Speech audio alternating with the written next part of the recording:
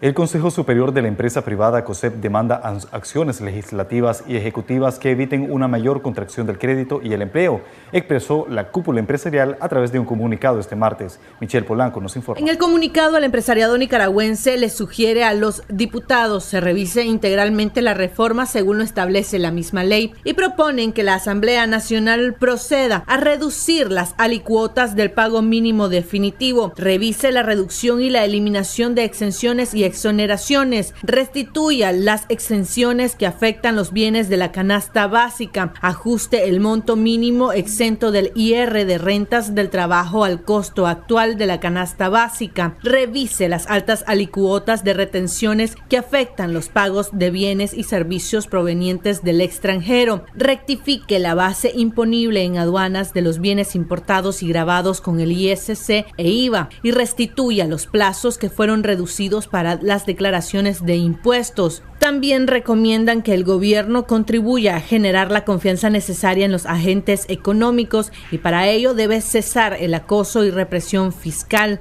realizado por medio de auditorías. Estas medidas económicas, dice el comunicado, deben necesariamente de ir acompañadas para evitar una mayor crisis política y social de un acuerdo político que resuelva las demandas ciudadanas de justicia, libertad y democrática, concluye el comunicado emitido por el empresariado nicaragüense a través del COSEP este martes 14 de enero del 2020. Michelle Polanco Alvarado, Acción 10.